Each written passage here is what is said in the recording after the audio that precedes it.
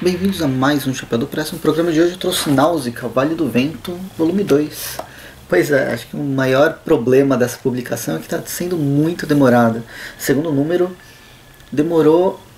Ai, eu não lembro quando que. Eu tenho um vídeo aqui no canal, mas se não me engano foi 2022 que eu fiz o, o vídeo do primeiro e agora já estamos da metade para o final de 2023, né? Eu estou gravando em setembro. Então a JBC está demorando muito para trazer Náusica e é uma história que teve vários problemas de publicação aqui no Brasil. É do Hayao Miyazaki, um, um dos, se não o principal, a principal pessoa da animação mundial. E isso eu estou colocando ele na frente de Disney, na frente do, de grandes estúdios como Pixar, Pixar uh, e a Disney atualmente acho que são os dois grandes estúdios, tem a DreamWorks, mas qual que tem tanta importância assim mundial é o Hayao Miyazaki com o estúdio Ghibli a partir dos anos 80, meados dos anos 80. Nausicaa foi uma produção pré-estúdio Ghibli e que ele traz uma aventura que é sensacional. Todo, toda a animação que ele produz nesse estúdio, e em Nausicaa a gente vê isso, são animações que vão utilizar o máximo dessa linguagem, que é uma linguagem diferente da linguagem dos filmes, trazendo temas que podem conquistar tanto crianças quanto adultos, com temas importantes como bem, o, o tema ambiental, acho que isso perpassa toda a obra do Miyazaki, e Náusica não é diferente. Enfim, essa aqui é a, é a segunda edição, a gente dá continuidade na história de um mundo que foi completamente devastado depois de várias guerras que destruiu uma sociedade super tecnológica. É, foi uma, um nível de guerra tão grande, tão devastador. E aqui a gente está pensando que o Miyazaki escreveu no final, né, no começo dos anos 80, em plena época da, da, da Guerra Fria, o Japão também envolvido na Guerra Fria, ele era muito ligado aos Estados Unidos, com seus avanços tecnológicos, mas o, as questões ambientais que elas vêm surgindo em debates políticos desde os anos 70 principalmente, vai se despontar nos anos 90, 92 com a Eco 92, mas desde os anos 70 já é uma pauta importante.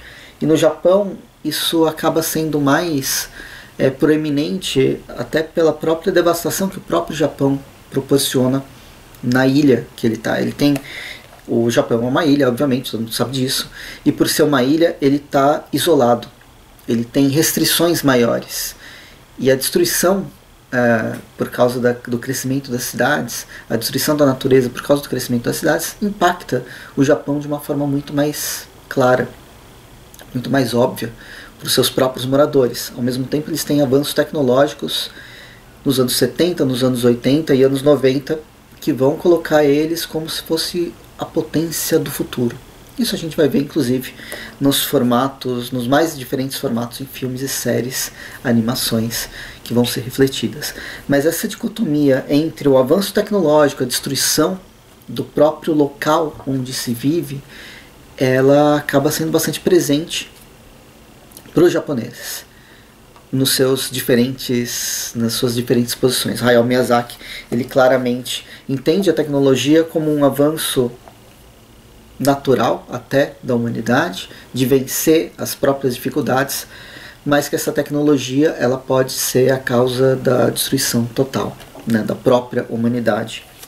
Náusea se passa nesse mundo pós-apocalíptico que já se reorganizou e que está rumando para um novo apocalipse. O planeta ele é dividido em vários reinos e existem alguns impérios que vão obrigar os outros reinos a se juntar a ele para por causa para conquistar territórios, por causa de guerras.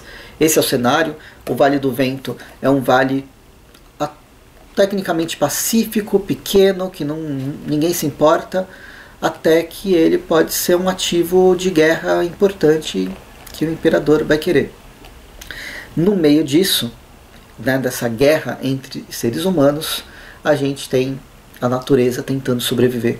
O mar está completamente morto. O mar é um mar ácido.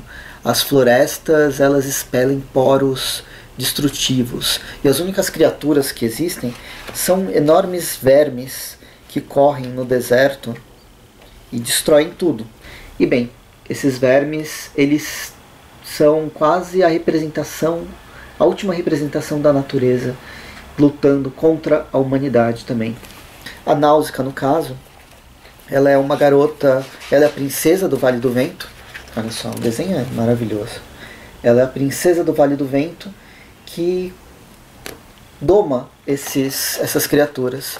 Ela tem uma relação com a natureza maior que muitos outros reinos. Né? O Vale do Vento tem, tem essa relação, ela em especial. E ela tem essa.